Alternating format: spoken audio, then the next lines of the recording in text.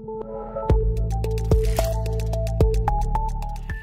Hoş geldiniz sayın katılımcılar. Bugün size ihracatı geliştirme AŞ'yi tanıtacağız. Hem de e, ihracatçının en önemli sorunlarından biri olan teminat sorununun e, ihracatın kendi e, oluşturduğu, ihracatçıların kendi oluşturduğu bir fon vasıtasıyla nasıl, nasıl çözüldüğünü e, ve Exim Bank'la İGE AŞ arasındaki oluşturulan protokol çerçevesinde bu teminat sorununun e, nasıl çözüldüğünü anlatılacak. Exim Bank uzmanlarından bu konuda yetkililerinden bu konuda bilgiler alacaksınız. E, Exim Bank İç Anadolu Bölge Müdürü Funda Baydar, Exim Bank İç Anadolu Bölge Müdür, Müdürlüğü'nde sigorta mark e, sigorta sigortalama ve koordinasyon müdür yardımcısı e, Burcu Gökçe Yıldız Akın ve Exim Bank Ankara Şube Müdürü e, Sade Yıldız bu konularda size bilgi e, sunumlar yapacaklar. İlk olarak Funda Baydar İç Anadolu e, Exim İç Anadolu e, Bölge Müdürü size e, giriş e, yapacak konuyla ilgili. Buyurun Funda Hanım. Evet merhabalar herkese. Şu anda katılımcı sayımızı 46 olarak görüyoruz. Herkese e, hoş geldiniz diyoruz. Umarız e, faydalı bir toplantı olur. E, ben Funda Baydar, e, Türkiye Exim Bank İç Anadolu Bölge Müdürüyüm.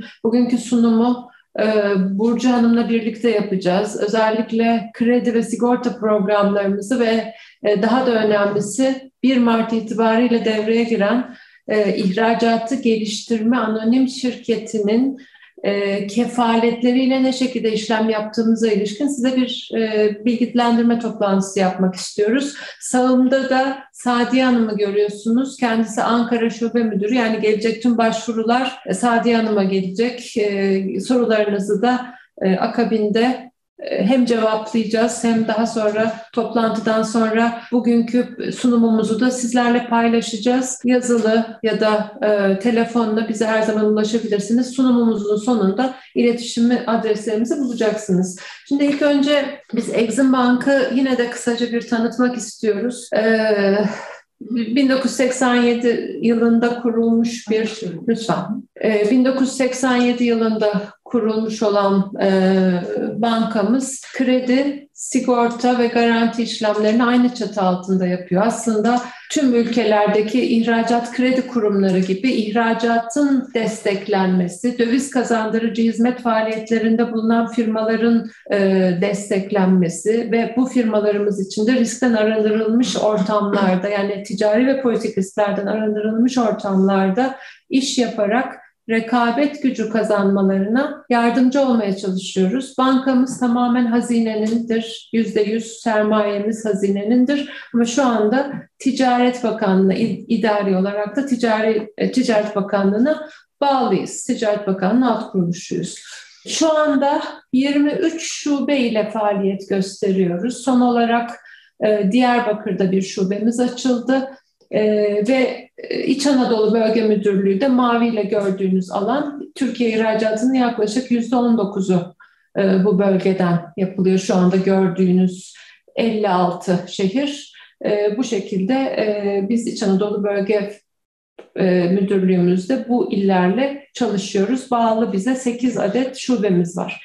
Şimdi e, yıllar itibariyle yaptığımız destekleri görüyorsunuz. 2021 yılında kredi programlarımızla 23.6 milyar dolar ve sigorta programlarım pardon e, kredi programlarımızla 22.5 milyar dolar sigorta programlarımızla 23.6 milyar dolar olmak üzere toplam 46 milyar dolarlık bir Türkiye ihracatına desteğimiz var. Bu destek aslında Türkiye ihracatının yaklaşık %22-23'üne tekabül ediyor baktığınızda e, mesela US Exim ile karşılaştırma yaptığınızda US Exim e, Amerika'dan yapılan ihracatın yaklaşık yüzde üç dördünü finanse eder. Avrupa ihracat kredi kurumlarına baktığınızda bu tutar yaklaşık yüzde onlar civarındadır. Türkiye'deki durum e, kısa vadeli ihracatın finansmana ihtiyacından dolayı, bu yapının öneminden dolayı daha fazla bizim kısa vadeli kredi vermemiz bize dönüştü. Fakat son dönemde bize verilen en önemli hedeflerden biri sigortamızın arttırılması. Yani ana ihracat kredi kurumu faaliyeti olan sigortanın e, arttırılması yönünde ki bugün özellikle vurgulamak istediğimiz hususlardan biri de budur ki 2022 yılında sigorta hedefimiz 27.3 milyar iken kredi hedefimiz 22 milyar olarak bize e, verilmiş durumda. Toplamda da 50 milyar dolarlık bir e, desteğe ulaşmayı hedefliyoruz bu sene sonunda. E, toplam ihracatçı sayımız 2021'de 14 bin firmayla çalışmışız, 14.092 firmayla çalışmışız ki bunlardan 10 bini 10.846'sı da KOBİ yaklaşık %77'lik bir KOBİ oranı tutturmuşuz. Şimdi Exim Bank programlarına baktığınız zaman üç ana işimiz var bizim.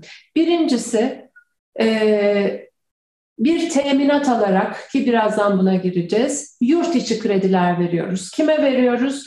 Türkiye'de yerleşik Türk e, ihracatçılarına, imalatçılarına, imalatçı ihracatçılarına ve döviz kazandırıcı hizmet faaliyetlerinde bulunan firmalarımıza. Dolayısıyla bu bir iç risk. Yani ben ister teminat mektubu alayım, ister KGF kefaleti alayım, ister biraz sonra anlatacağımız gibi ihracatı geliştirme anonim şirketinin bana düzenleyeceği, sizler lehine düzenleyeceği ve bana muhatap düzenleyeceği e, kefaleti alayım benim riskim yurt içinde. Ben yurt içindeki bir firmaya kredi veriyorum. Teminatları farklılaştırıyorum.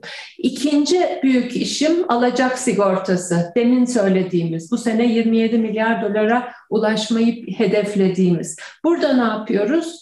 Yurt dışındaki alıcıların riskini değerlendirerek yani ihracatçı firmalarımızın hangi ülkede olursa olsun o ülkenin politik durumu, o ülkedeki o alıcının durumu, vade yapısı gibi faktörlere bakarak e, belirleyeceğimiz risk tutarına kadar bir risk üstleniyoruz biz. Ve vadesinde ödeme yapılmaması halinde de biz bir tazminat ödemesi yapıyoruz. Sizleri e, ticari ve politik risklerden arındırmak üzere.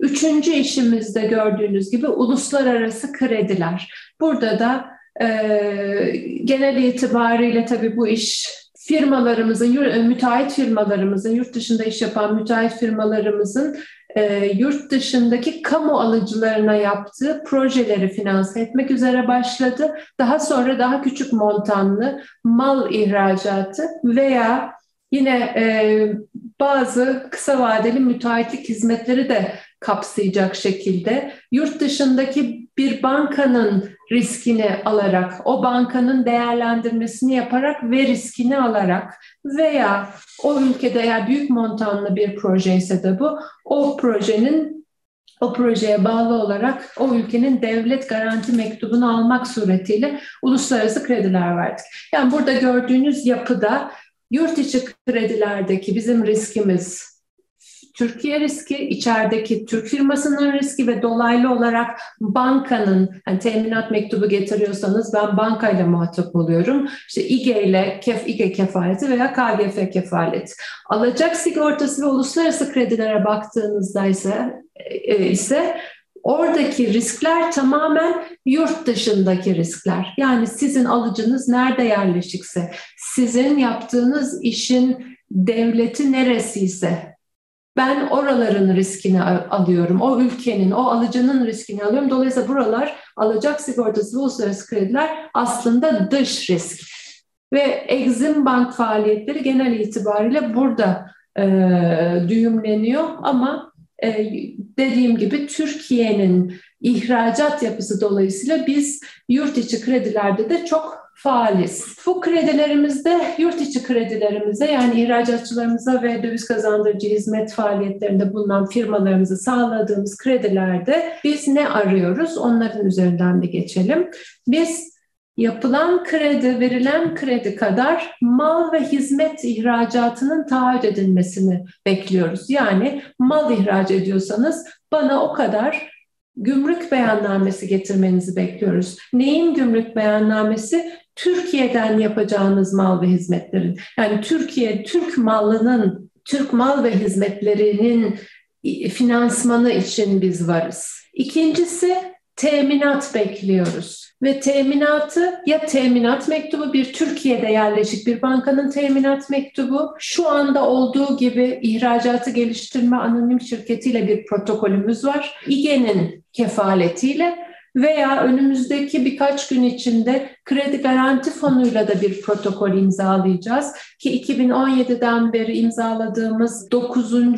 sıradaki zeyilname ile bir protokol olacaktı. Orada da faaliyete geçeceğiz. Dolayısıyla teminat bunlardan biri olacak. Biz şu anda e, TL'de bir değişiklik yapmıyoruz. COBİ'lere sadece biliyorsunuz e, Türk lirası olarak kredi kullandırabiliyoruz. COBİ dışı firmalarımıza TL kredi imkanımız yok ama COBİ'lerde de döviz kredilerinde farklı faiz oranlarını şu anda uygulamaya konduk, koyduk son e, 6-7 haftadır. Bizden kredi alabilmek için ön koşullarımızdan biri de bizde bir limitiniz olması. Yani firma olarak bize başvurduğunuz zaman analiz belgelerinizi ki bunlar Bank BDDK'nın e, yayınlamış olduğu bir olmazsa olmaz dokümantasyondur. İşte son 3 yıllık bilançolarınız, imza sirkülerleri, ticari sicil gazeteleri gibi ki bunları da geçen sene oldukça sadeleştirdik. Bu belgelerle bize başvurduğunuzda sizlere hangi krediye ihtiyacınız var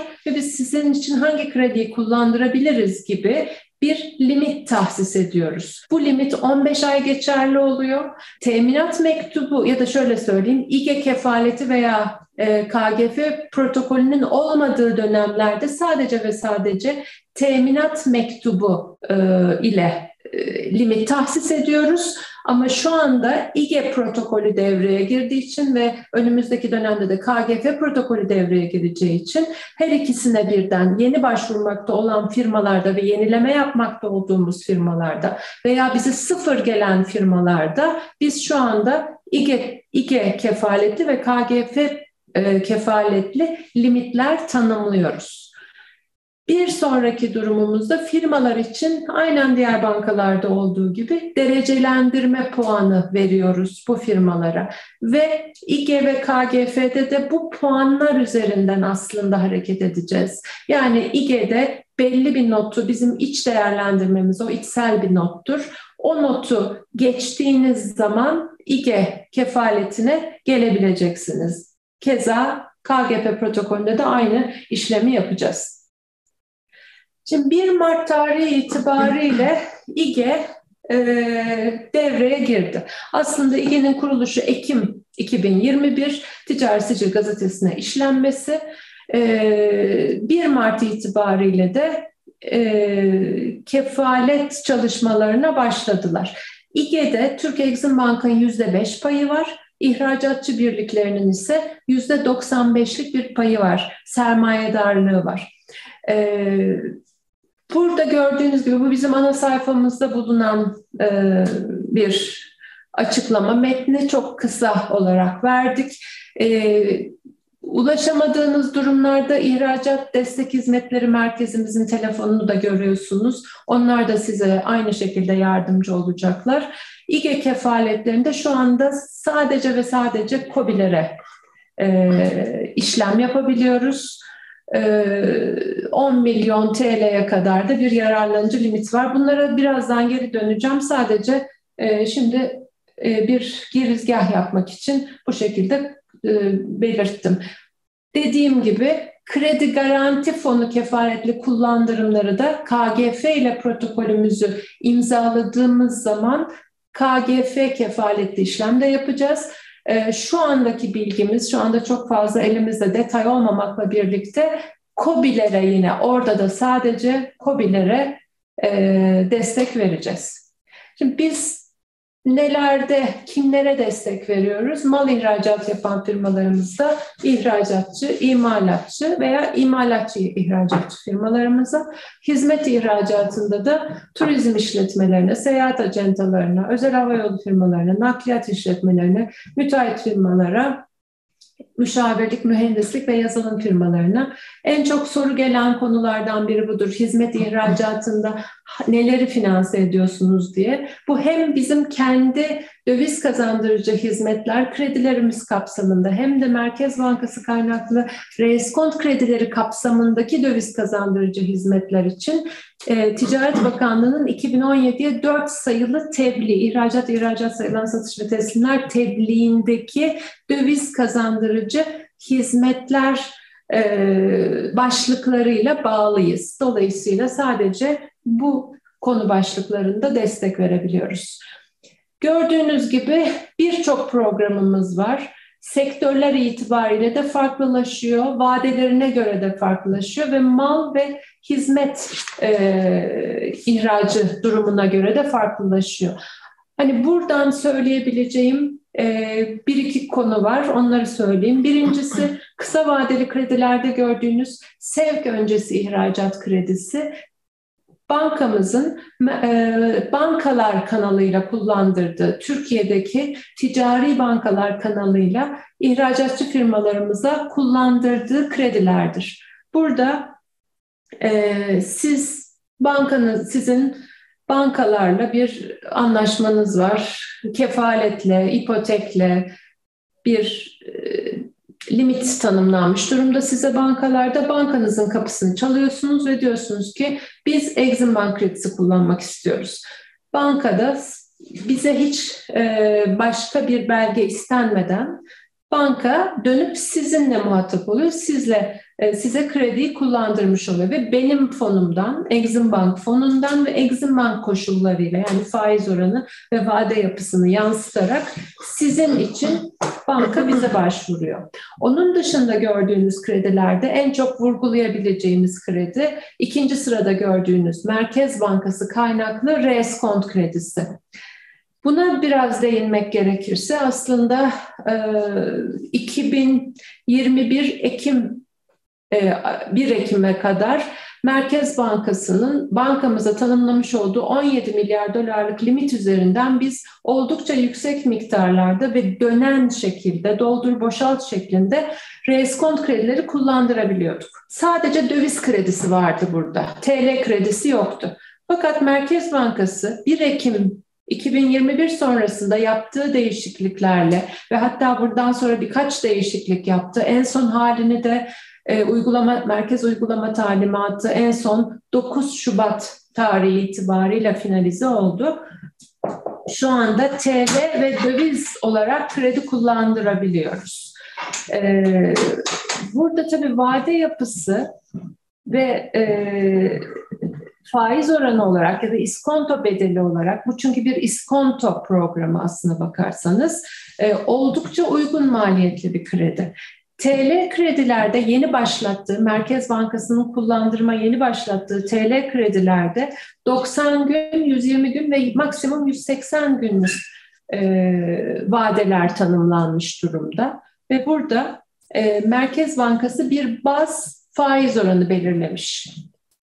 90 güne kadar olan işlemlerde eğer 90 gün vadeyle bir kredi kullanıyorsanız e, politika faizi eksi net 2 puanlık bir faiz e, faiz yani yüzde 12 ile şu anda bir baz faiz oranı var. Fakat siz diyorsanız ki ben ihracatımı bir önceki seneye göre yüzde 10 arttırırım.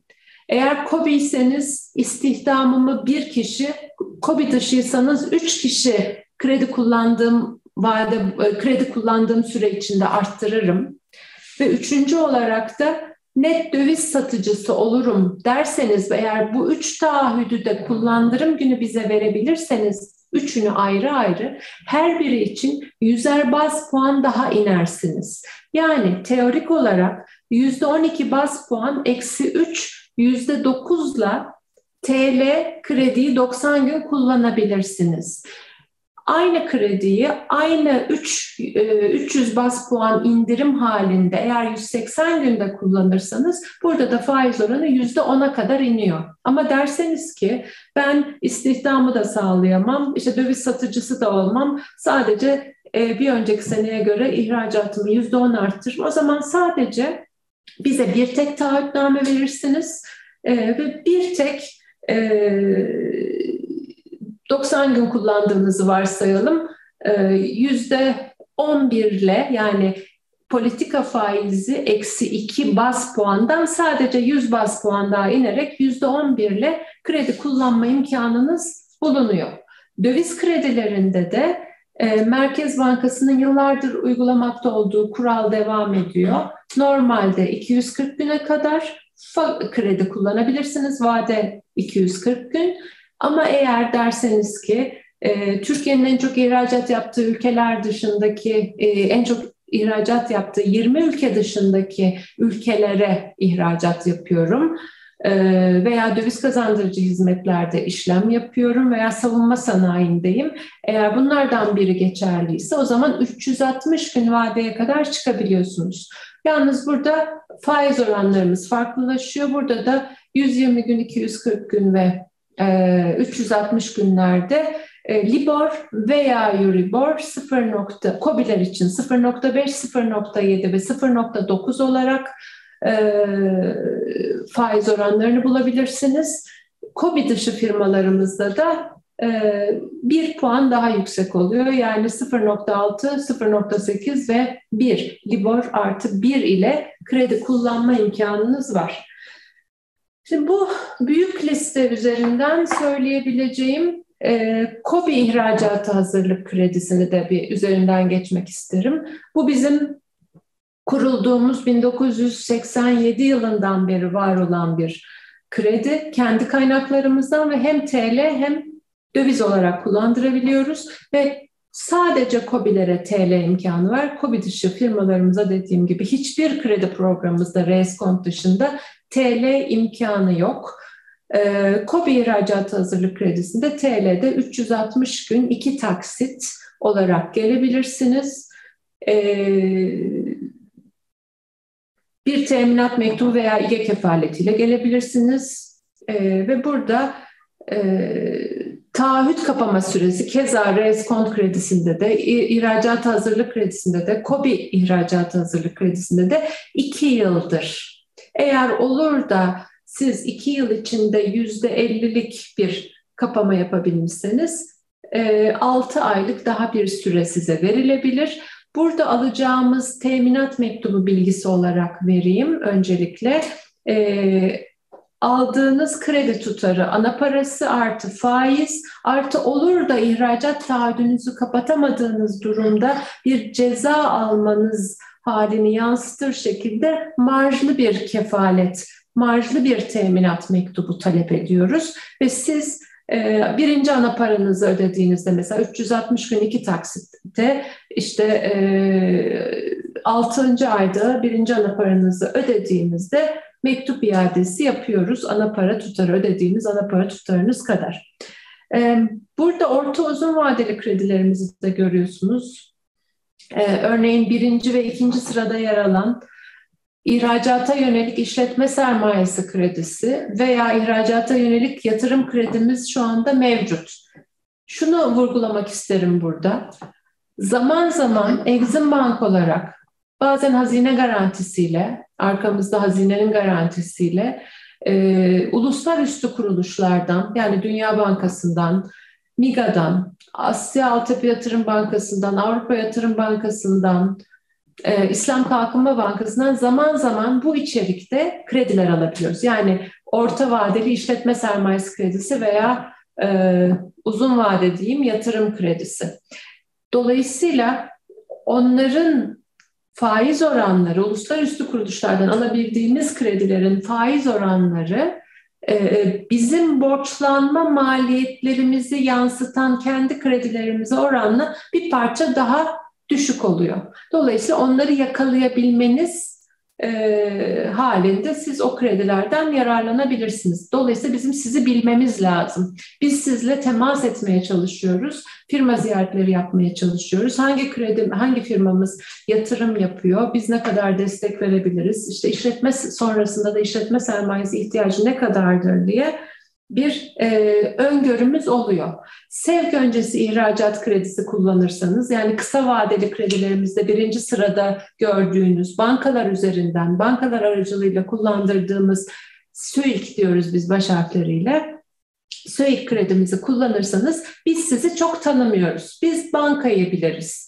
Biz krediyi bankanıza veriyoruz Bankanız dönüyor size kullandırıyor. Siz bankanıza geri ödüyorsunuz. Banka bize geri ödüyor. Dolayısıyla biz sizi çok net bilmiyoruz. Onun için genelde biz firmalarımıza limit tanımlamayı tercih ediyoruz. Onları biliyoruz. Onlar için raporlar düzenliyoruz. Yerinde ziyaret ediyoruz. Onlarla irtibat halinde oluyoruz. Ee, ve hani şu, aklıma gelmişken de söyleyeyim yine e, sigortayı arttırmaya çalışıyoruz bir yandan dedim ama ana hedeflerimizden biri de COBİ'lere daha fazla ulaşabilmek, daha fazla COBİ firmasına destek verebilmek, COBİ sayımızı arttırabilmek gerek sigorta gerek kredi programlarımızla. Şimdi bu slaydı da bir geçiyorum. Hani genel itibariyle bizim programlarımız böyle. Şimdi İGE kefaletli işlemlere geldiğimizde tekrar e, burada gördüğünüz gibi ürün vadesi azami 12 ay görüyorsunuz. Nakit TL veya yabancı para cinsinden döviz kredisi kullandırabiliyoruz. Şimdi bir önceki e, slayda gittiğimizde buradan İGEL'i kullandırabileceğimiz krediler iki tane. Bir tanesi reskont kredisi, kısa vadeli krediler başlığı altında. Yani TL veya döviz reskont kredisi kullandırabiliriz firmalarımıza İGE'li, İGE kefaletiyle ve KOBİ 5. sırada gördüğünüz KOBİ ihracatı hazırlık kredisi kullandırabiliriz.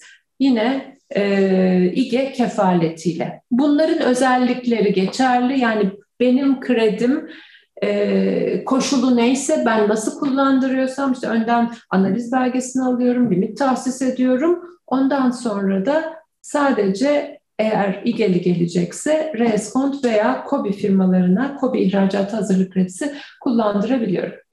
Burada e, başvuru süresi Mayıs sonuna kadar. Dolayısıyla biz bu o, kefaletli işlemleri Mayıs sonuna kadar büyük bir hızla tamamlamak istiyoruz. COBİ'lere yönelik olarak. Dediğim gibi yararlanıcı üst limiti 10 milyon TL ve e, bir başvuru ücreti var. 1000 lira olarak yazılmış ama bir de burada EFT ücreti olacak. Bunu lütfen 1050 lira olarak düşünün. E, ilave olarak da e, bir kefalet komisyonu var bizim e, İGE'ye ödeyeceğimiz 6 aya kadar olan kredilerde e, binde 5 ve e, 1 yıla kadar olan işlemler içinde yüzde bir olarak belirlenmiş durumda. Burada söyleyebileceğimiz başka hususlar. Şimdi e, bir kere İGE'li işlemlerimizde COBİ'lik statüsünü yani COBİ diye olarak değerlendirdiğimiz firmalarımızın için COSGAP'ten bir onay alıyoruz. COSGAP'in tanımına göre, bu resmi gazetede yayınlanmış tanıma göre COSGAP tarafından da onaylanıyor. Bu firma COBİ'dir. Eğer böyle bir okey alamıyorsak, böyle bir e, sonuca ulaşamıyorsak e, öncelikle firmamızda diyorsa ki ben COBİ'yim o zaman sizi öncelikle COSGAP'e yönlendiriyoruz. COSGAP'ten bu düzeltmeyi yaptırdıktan sonra bize tekrar başvuru yapabiliyorsunuz. Kullandırımlar sadece reskont kredisi ve COBİ ihracatı hazırlık kredisiyle sınırlı. Teminatlarda hani İGE kefaletiyle işlem yapıyoruz diyoruz ama şöyle bir anlatalım burayı da. Birincisi İGE İhracatı Geliştirme Anonim Şirketi Exim Bank tarafından sağlanan kredinin yüzde doksanını kefil oluyor. Kalan yüzde on artı sizin iki yılda tamamlamayı tamamlamanız gereken ve gümrük beyannamesi ibraz ederek tamamlamanız gereken ihracat taahhüdü yükümlülüğünüz için e, artı demin bahsettiğim e, reskont kredisi kullanmanız halinde 300 bas puanlık indirimler için bize vermiş olduğunuz taahhütler karşılığında da biz sizinle bir konuşacağız. Firmanızın durumuna bakarak yapmış olduğunuz geçmiş ihracat performansınıza bağlı olarak ve tabii ki aslında bizim sizi birazcık bilmemize de bağlı olarak e, tüm istihbaratımıza da bağlı olarak İGE kefaleti yanında ilave kefalet talebimiz olabilir. Sadece İGE kefaletli işlem olmayabilir. Bunu bir söylemiş olalım. Müşterimiz katılımcılardan şu anda 50 53 mü görüyorum? 93. 93 özür dilerim. 93 katılımcıdan eğer Exim Bank müşterisi olmayan firmamız var ise sizler bizim web sayfamız üzerinden başvuracaksınız. Adresimiz de böyle. Eğer bizim müşterimizseniz zaten normal yollarla revizyonunuz yapılacak. Limit revizyonunuz yapılacak. Yani tebliğlerinizde biz size ilave olarak KGF'li ve İGE'li limitler tahsis etmek üzere değerlendirmenizi yapacağız. Burada başka söyleyeceğimiz neler olabilir İGE'de? E, demin bahsettiğim e, artık firmalarımızı tamamen puanlama, bir scoring üzerinden değerlendiriyoruz. Ve yine içsel bir puan olarak belirlediğimiz bir puan var İGE için gelecek olan firmalarımızın o puanı geçmesini bekliyoruz. O puanı geçemeyen firmalarımızı maalesef İGE kefaretli işlemler için kabul etmeyeceğiz. Evet, bütün hani e, maliyet unsurlarından bahsettik, başvuru ücreti ve e, İGE komisyonları hakkında. Bize başvuru sırasında bir de e, Gelir İdaresi Başkanlığı'ndan sizin hakkınızdaki verileri çekmemiz için, keza kefiller kefiller için takbas muvaffakatnamesi ve Ticaret Bakanlığı'nda yine ihracat rakamlarınızı görebilmem, görebilmek üzere bir takım muvaffakatnameler rica edeceğiz sizlerden. Ee, bu bilgiler ışığında zaten limitleriniz tahsis edilecek. Dolayısıyla başvuru aşamasında bu bilgileri de almak almamız gerekecek. Evet genel itibariyle ilgili e, işlemler bu şekilde. Hani daha detay e, krediyi nasıl kullanabilirim vesaire kısmı tamamen kredi özelinde e, şekilleniyor. Yani siz Reskon kredisi veya KOBİ ihracat hazırlık kredisine İGE kefaletli olarak gelecekseniz o kredilerin şartlarına uyacaksınız. O kredilerin kredi başvuru formlarıyla bize geleceksiniz. İGE ile hiçbir işiniz olmayacak. Sizin adınıza İGE kefalet başvurusunu sizi değerlendirdikten sonra biz onlara yapacağız. İGE'den onay aldıktan sonra da kredi kullanılabilir hale gelecek. Şu anda İGE ile söyleyecek, ilgili olarak söyleyebileceklerim bunlar. Ee, devam ediyorum sunuma. Sonunda tekrar hani sormak istediğiniz sorular olursa buraya tekrar döneriz. Ee, burada Doğrudan kredilerimiz dediğimiz demin söylediğim bankalar aracılığıyla olmayan krediler yani bizim direkt olarak sizin sizden teminat mektubu İGE kefaleti veya KGF kefaleti almak suretiyle kullandırdığımız kredilerdeki e, limit tahsis süreci, başvuru evrakı gibi bir silsileyi burada görüyorsunuz. İGE'li bir işlem olursa aynen teminat mektubu e, aldığımız gibi kredi kullanım aşamasında teminat sizin teminat mektubu getirmeniz yerine bizim İGE'ye başvurmamız ve İGE'den onay almamız suretiyle e, teminat mekanizması da bu, bu silsile içinde tamamlanmış olacak. Eğer aracı bankalar SÖİK olarak kullanmak isterseniz kredi, yani biz sizi bilmeyeceğiz, bizde herhangi bir limitiniz olmayacak, siz bankanızdan Exim Bank kredisi kullanmak isterseniz de daha basit bir süreç. Bankanızın kapısını çalacaksınız ve krediyi kullanabileceksiniz. Şimdi alacak sigortası ile ilgili olarak ben e, Burcu Hanım'a bırakıyorum sözü. E, sonunda tekrar e, alacağım. Herkese tekrar merhabalar. Burcu Yılmaz Akın, İç Anadolu Bölge Sigorta Pazarlama ve Koordinasyon Müdürlüğü'nde çalışıyorum bizim alacak sigortamız aslında alacaklarımızı yani firmaların faturaların ödenmesini temin eden bir sistem. Hem ticari hem de politik risklere karşı bir güvence sağlıyor. Biz e, burada üç temel fonksiyonu yerine getirmeye çalışıyoruz. Alıcı firmalar ve ülkeleri hakkında aslında bir risk analizi yapıyoruz. Yani bir enformasyon hizmetimiz var. Daha sonra alacakları hem ticari hem de politik risklere karşı güvence altına alıyoruz yaptığımız araştırma sonrasında. Üçüncü fonksiyonumuz ise riskten arınmış alacakları e, iskont ederek bir ek finansman yaratıyoruz. Şimdi e, en çok kısa vadeli programlarımız kullanılıyor. Yani 360 güne kadar vadeli programlarımız. Bunlar e, özellikle ihracat alacak sigortası. Bir de ihracatlarını bize sigorta ettiren firmalarımıza verdiğimiz bir hizmet var. O da yurt içi alacak sigortası. Bunun dışında da orta uzun vadeli işlemlerimiz var sigortada. Bunları da spesifik ihracat kredi sigortası altında yürütüyoruz. E, Şimdi birinci de yani kısa vadeli işlemlerde hem e, yurt içinde hem yurt dışında 360 güne kadar vadeli işlemleri sigortalıyoruz. Bütün sigorta işlemlerimizde yurt içinde zaten Türkiye içerisindeki alıcılarla ilgileniyoruz ama onun dışındaki işlemlerimizde 238 ülkeyi kapsıyoruz. E, bütün sigorta işlemlerimizde e, sigorta kapsam oranımız %90. Hani e, bu çok nadir değişebilen bir oran. Belki aşağı yönlü değişmesi daha çok beklenebilir. Orta uzun vadeli e, yani spesifik sigorta işlemlerimizde ise bir yıldan uzun vadesi olan işlemleri sigortalıyoruz. ihracat işlemlerini sigortalıyoruz.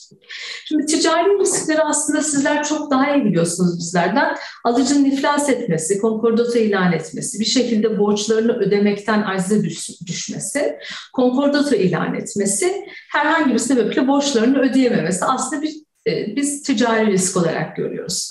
Politik risk dediğimizde de herkesin aklına ilk olarak alıcının ülkesinde bir savaş, iç savaş, kargaşa halinin ortaya çıkması geliyor. Ama onun dışında da transfer yasakları, kısıtlamaları, ithal yasakları, ithal müsaadelerinin iptali, alıcının ülkesinde ya da Türkiye sınırları dışında mallara el konması yani malların millileştirilmesi ve kamu alıcısının ödeyememe halini de biz politik risk olarak değerlendiriyoruz ve ihracat alacak sigortamız kapsamını alıyoruz. Şimdi öncelikle e, ihracatçılarımızla e, bu tarz bir talep olan ihracatçımızla bir araya gelip öncelikle ona bir poliçe hazırlıyoruz. Bu poliçe matbu bir belge, karşılıklı yükümlülüklerimizi belirleyen bir belge ve ıslak imzalı olmasını istiyoruz. Karşılıklı iki tarafta bunu imzalıyor. Daha sonra e, sizlere bir internet şube şifresi veriyoruz. Sizin uygun bulduğunuz ya da e, gerekli gördüğünüz kişilere bir internet kullanıcı kodu ve bir internet e, şifresi veriyoruz. Ve o şifreyle internet şubemiz üzerinden alıcılarınıza başvurmanızı bekliyoruz. Ve bu noktadan sonra biz alıcıları değerlendirmeye başlıyoruz. Burada da istediğimiz temel bilgiler alıcının adı yani tam ünvanı, adresi, o ülkede geçerli olan vergi numarası ya da ticaret sicil numarası ve ne kadar limit istediğiniz, işte ne kadar vadede çalışmak istediğiniz gibi bilgileri alıyoruz sizden internet şubemiz aracılığıyla.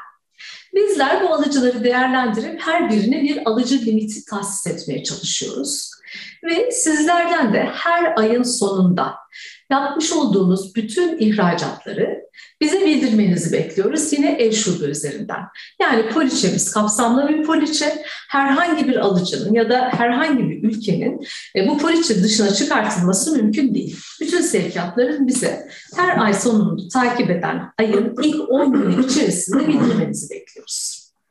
E, daha sonra ise orijinal vadeleri takip etmek ihracatçılarımızın görevi. Orijinal vadesinde ödenmeyen bedeller için İhracatçılarımızın 60 gün içerisinde yani orijinal vade artı 60 gün içerisinde yine eş şubemiz üzerinden vadesi geçmiş alacak bildiriminde bulunmasını bekliyoruz. Bu kısmı biz ikiye ayırdık. Yani vadesi geçmiş alacak bildirimiyle tazminat başvurusunu ikiye ayırdık. Çünkü her e, ihracatçılarımızın çoğu belli bir süre alıcılarını beklemek istiyorlar. Ona ekstra verdikleri durumlar oluyor. Artık e, borcun ödenmeyeceğine kanaat getirilirse toplamda 90 gün içerisinde de bize tazminat başvurusunda bulunmasını bekliyoruz. Yani orijinal vade artı 90 gün içerisinde bekliyoruz bu başvuruda. Ama tabii ki sizler bunları ilk günde yapabilirsiniz. Yani orijinal vade doldu, bedel alınamadı, ilk gün vadesi geçmiş ve tazminat başvurusunda bulunabilirsiniz.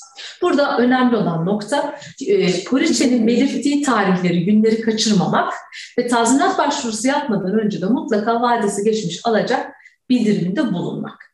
Bazı durumlarda ise alıcı ödeyeceğini beyan ediyor sizlere ya vade gelmeden ya da vade geldiğinde ama sizden bir ekstra isteyebilir.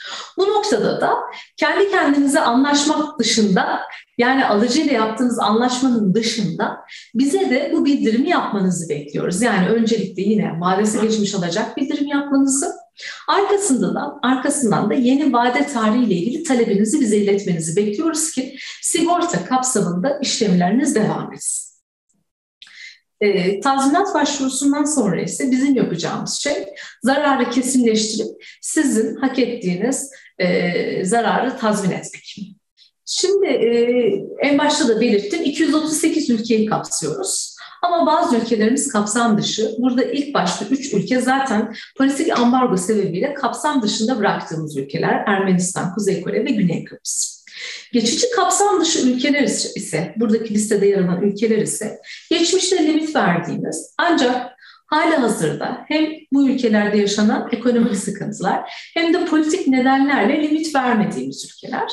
Ama bu buradaki alıcılarla da çalışıyorsanız bize bir başvuru yapmanızı bekleyeceğiz. Biz onlara da sıfır limit düzenleyeceğiz ve siz bu e, limitler çerçevesinde yine sevkiyatlarınızı bildirme, bildireceksiniz. Şimdi bu ülkeler için hani e, öngöremediğimiz değişiklikler de olabilir. Yani bundan iki ay sonra, üç ay sonra bu ülkelerden herhangi birine limit vermeye de başlayabiliriz. Daha doğrusu o ülkelerde bulunan alıcılara limit vermeye başlayabiliriz. O yüzden geçici kapsam dışı olarak ayırt ettiğimiz bir grup ülke de burada yer alıyor. Kaldı ki kapsam dışı ülkelerimizde Ermenistan var. Son dönemde yani, takip edebildiğiniz gibi e, Ermenistan'da bir yumuşama söz konusu. söz konusu. Hani orası da açılabilir tabii. Şimdi bizler e, bu geçen seneye kadar hep mal ihracatını e, sigortaladık. Ama geçen yıl itibariyle hizmet satışlarını da kısa vadeli ihracat kredi sigortası poliçemize dahil ettik. Buradaki hizmetten kastımız e, bir önceki sunum tarafında Funda Hanım da belirtmişti.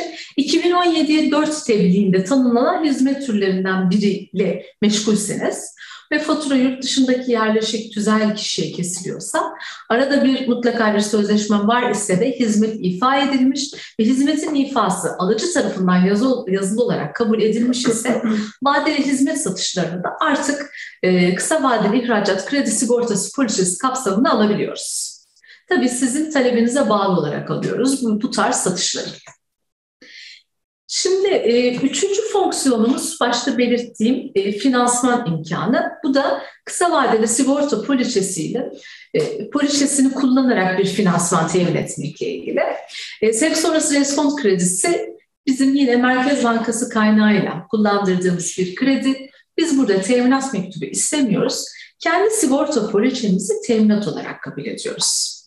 Yalnız bu noktaya kadar alıcıları araştırma, alıcılara limit verme, onlara sevkiyat yapılması, sevkiyatın sigortalanması kısımlarında biz alıcılarla herhangi bir ilişki kurmuyoruz ya da onlara sizin hakkınızda sizin hakkınızda herhangi bir bilgi vermiyoruz. Ama sevk sonrası reskont kredisine başvurmanız halinde ve kredi birimimiz, şubemiz tarafından da bunun uygun görülmesi halinde biz alacağı temlik alacağımız için mutlaka alıcıyla bir e, alıcıdan bir tebliğ almamız gerekiyor. Yani alıcı artık bu sevkiyatların, kendisine yapılan sevkiyatların bizim tarafımızdan sigortalandığını öğreniyor. Hani bu işlemin öyle bir tarafı var. Burada fatura bedelinin yüzde 85'ini iskonto edebiliyoruz. Aynı işlemi e, ticari banka ve faktörlük firmalarıyla da yapabiliyoruz. Orada da iki temel yöntemimiz var.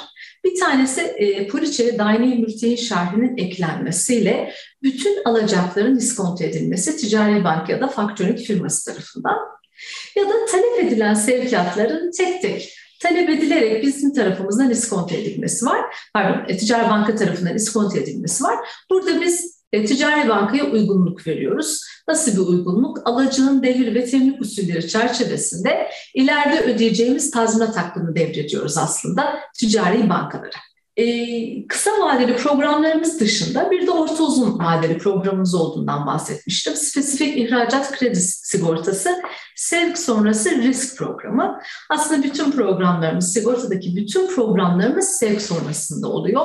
Yani sevkiyatın fiilen, ihracatın fiilen gerçekleştirilmesi ve gümrük beyannamesinin kapanmasından sonra yürürlüğe giriyor. Biz bu e, orta uzun vadede yani spesifik işlemlerde katma değeri yüksek sermaye ya da yatırım malı ya da yarı sermaye mallarının ihracatıyla ilgileniyoruz. E, burada da yine 238 ülkeye kapsam veriyoruz sigorta kapsamı. Tek bir kontrata bağlı, bir sözleşmeye bağlı e, ihracat işlemleri burada geçerli oluyor. 10 yıla kadar vadeli işlemleri de biz burada sigortalayabiliyoruz. Özellikle iki yıl ve üzeri olan işlemler aslında OECD kuralları çerçevesinde yürüyor. Burada da yine alacakları %90'ına, alacaklarımızın alacaklarımızın %90'ını tazmin ediyoruz. Bazı akreditif işlemlerde bu %95'e kadar çıkabiliyor. Ee, kısa vadeli programları nasıl hem kendimiz iskonto ediyor hem de ticari bankalar aracılığıyla iskonto ettirebiliyorsak burada da yine aynı imkanlar mümkün. Aynı şekilde iskonto yapılabilmesi mümkün. Burada da yine iskonto tarafında e, sek sonrası aşamada bir iskonto söz konusu oluyor. Burada da yine ihraç edilecek mal Türk menşeli ya da sermaye malı niteliğinde olması gerekiyor. Yani gümrük beyannamesi formunda menşe ülke kodunun 52 olmasını istiyoruz. Zarar tazmin oranımız e, akreditifli işlemlerde %95 olmakla birlikte her türlü kredilendirme işlemimizde yani her türlü iskonto işlemimizde %90 e, kredilendirme oranını kullanıyoruz. Azami vademiz 120 ay, yüksek gelir grubu ülkeler içinde 60 ay olarak da değerlendirilebiliyor. Yine OECD düzenlemeleri çerçevesinde iskonto yapabiliyoruz. Ee, benim sigorta ile ilgili anlatacaklarım çok hızlıca geçmek istedim. Biraz vaktimizi de mantık kullanmak açısından. Ee, bir de bizim son, e, Türkiye Gizim Bank'ın e, son faaliyet alanı uluslararası krediler. Bu konuda da tekrar Funda'nın e, size ek bir bilgi verecek. Daha sonra biz soru kısmında yazılanlara bakacağız. Ona göre tekrar cevap vereceğiz. Evet, demin de bahsettiğimiz gibi Exim Bank'ın üçüncü faaliyet konusu uluslararası krediler. Burada e, ister yurt dışındaki bir e, kamu kurumuna ister özel sektöre ama özel sektöre verdiğimiz kredilerde tamamen bankalara limit tanımak suretiyle e, işlem yapabiliyoruz. Bu bir e, aslında alıcı kredisi niteliğinde ve sermaye ve tüketim malları da dahil olmak üzere e, hak ediş içeren e, yurt dışı müteahhitlik hizmetleri de dahil olmak üzere ister kısa vadede ister orta uzun vadede bu işlemleri bu teminatlar altında yapabiliyoruz.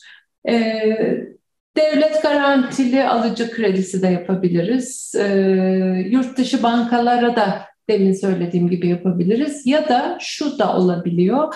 E, yurt dışında şubesi olan bankalara Türkiye'deki genel müdürlüklerinin garantisini almak suretiyle de alıcı kredisi sağlayabiliriz. Yani Ziraat Bankası'nın Bosna'daki şubesine e, biz bir kredi açabiliriz. Ziraat Bankası Türkiye onun garantörü olur ve işlemi bu şekilde yürütebiliriz. Buradaki en önemli hususlardan biri aslında e, uluslararası krediler bölümümüzde bir e, niyet mektubu tanzimi olabilir. Yani siz bir uluslararası bir ihaleye girmek istiyorsanız, o işi almak istiyorsanız, o işin arkasında olduğunuzu belirtmek istiyorsanız Exim Bank'a bir niyet mektubu başvurusunda bulunabilir, bulunabilirsiniz.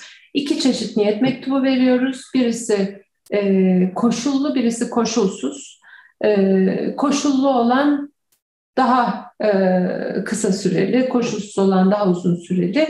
E, koşuldan kastımız hangi e, şartlarla biz bu krediyi verebiliriz'i mektubun arkasına yazıyoruz. Yani hangi komisyon oranları, hangi teminatlar, e, kredi tutarı maksimum nereye kadar gibi bilgiler de peşinde olacak şekilde e, ihale dosyanıza koyabilmek için ya da alıcı firmaya tevdi edebilmek için bir niyet mektubu düzenlenebilir. Bu kapsamda daha önce özellikle e, yurt dışı müteahhitlik hizmetlerinde yaptığımız e, bazı e, finanse ettiğimiz bazı projeler var. E, Etiyopya'da 1.7 milyar dolarlık e, demir yolu projesinde biz 300 milyon dolarla girdik. Orada diğer Avrupa e, ihracat kredi kurumlarıyla ortak çalışarak 1.7 milyar dolarlık finansman paketi tamamlandı ve işlem e, devreye girdi demiryolu. Kongo'da Brazzaville e, uluslararası iş sitesi projesini yapmışız. Senegal'de gördüğünüz gibi iş oteli, sergi sarayı gibi.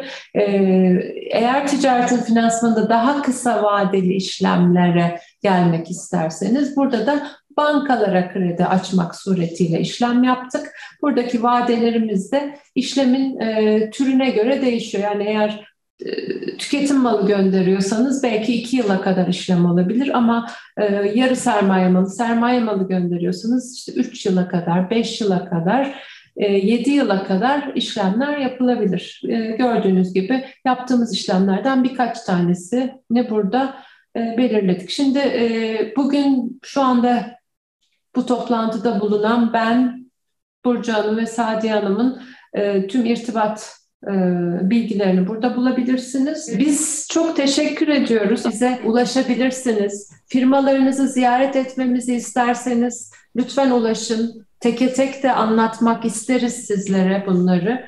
E, ilave olarak dediğim gibi sigorta Exim Bank'ın çok önemli ana faaliyet konularından biridir. Hani biz de ihracatçılarımızı ticari ve politik risklere karşı sigorta şemsiyesi altında korumak istiyoruz ve burada biz yapmasak da biz de yapıyoruz ama ticari bankalar da finansman sağlıyorlar sigorta poliçemizle. Onu da tekrar vurgulamak istiyoruz. Orta Anadolu İhracatçı Birliklerine de bu girişimi için çok çok teşekkür ediyoruz. Sağ olsunlar bizi ihracatçılarımızla buluşturdular. Çok teşekkürler. Çok, çok teşekkürler. Eximbank yetkilileri Funda Hanım, Burcu Hanım ve Sadiye Hanım. Ee, çok e, komple bir eğitim oldu. Hem Eximbank kredi programları hem sigorta programları hem de İGE ile kefalet sistemi hakkında çok ayrıntılı, net, çok verimli ve efektif bir eğitim aldık. Zaten Exim Bank bize her bu konularda çok güzel destekler veriyor. Hem kredi hem e, şimdi kefalet sistemini de kurdu Exim Bank. Yani şey İGE vasıtasıyla. E, ihracattan e, önünü açıyorsunuz e, direkt olarak. Çok teşekkür ediyoruz. Sağ olun. Sağ olun. Çok teşekkür ederim. Teşekkürler. iyi günler Görüşmek üzere. Sağ olun. Sağlıklı günler diliyorum.